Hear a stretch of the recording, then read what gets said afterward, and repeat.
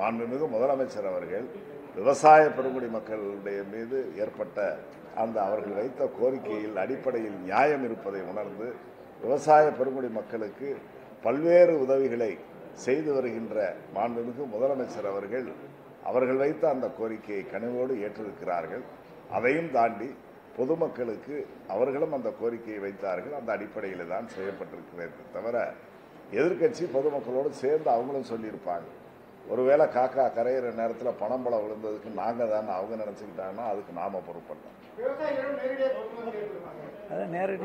அதை நீங்கள் கேட்பது ஒரு நல்ல கேள்வி. அதை விவசா விவசாயத்துறை சார்ந்தவர்கள் வேளாண் துறையை சார்ந்த கள அலுவலர்கள் எங்கெங்கு பயிரிடப்பட்டிருக்கின்ற இந்த பதிவுகள் இருக்கிறது அவர்கள் அதை அடையாளம் காட்டுவார்கள். மாவட்ட ஆட்சியர் தலைமையிலே ஒரு குழு நியமிக்கப்பட்ட அந்த குழுவிலே உணவுத்துறை அதே போல விவசாயத்துறை கூட்டுறவுத்துறை சார்ந்தவர்கள் அங்கே ஒரு குழு அமைத்து அந்த குழு செயல்படும். கரும்பு உண்மையான சாகுபடி. இதை பொறுத்தவரையில் நம்முடைய தமிழ்நாட்டில் இருக்கக்கூடிய விவசாயிகள் பதிவு செய்த அந்த தொகுப்பில் இருந்து தான் கரும்புகள் கொள்முதல் செய்யப்பட வேண்டும். வேறு பிற மாநிலங்களில் இருந்தெல்லாம் அதெல்லாம் வரக்கூடாது என்று கடுமையான விதிகள் இப்பொழுது தயாராகி கொண்டிருக்கிறது அந்த அடிப்படையில் செயல்படும். விவசாயிகளுக்கும் நியாயமான விலை போய் சேருவதற்கான ஏற்பாடுகள் சென்ற ஆண்டு முப்பத்தி மூன்று ரூபாய் வழங்கப்பட்டிருக்கிறது.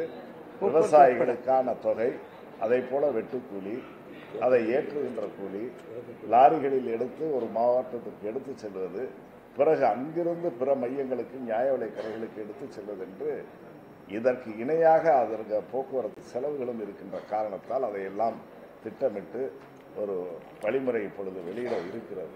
ஆக மாவட்ட ஆட்சியர் தலைமையில் இதை முழுமையாக கண்காணிப்பார்கள்.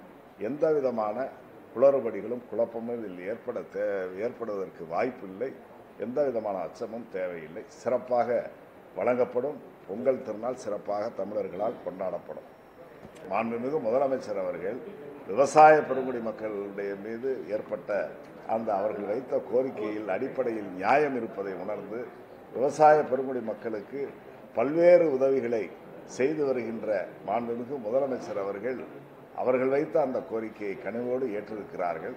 அதையும் தாண்டி பொதுமக்களுக்கு அவர்களும் அந்த கோரிக்கையை வைத்தார்கள். அந்த அடிப்படையில் தான் செய்யப்பட்டிருக்கிறது தவிர எதிர்க்கட்சி பொதுமக்களோடு சேர்ந்து அவங்களும் சொல்லியிருப்பாங்க.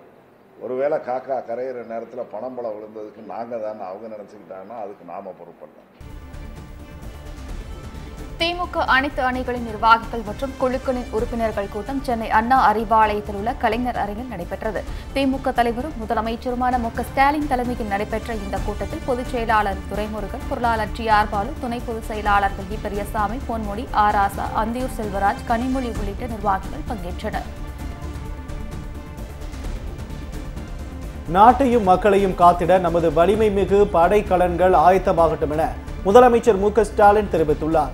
இதுகுறித்து அவர் வெளியிட்டுள்ள ட்விட்டர் பதிவில் சமத்துவம் சமூக நீதி பகுத்தறிவு வாயிலாக முற்போக்கான சமுதாயத்தை கட்டமைக்கும் நமது கடமையை நிறைவேற்றிட சாதி மத ஏற்றத்தாழ்வுகளை வலிமைப்படுத்தி ஆதிக்கத்தை நிறுவத்துடைக்கும் பிற்போக்கு சக்திகளிடமிருந்து நாட்டையும் மக்களையும் காத்திட நமது வலிமை மிகு படைக்கலன்கள் ஆயத்தமாகட்டும் என்று தெரிவித்துள்ளார்.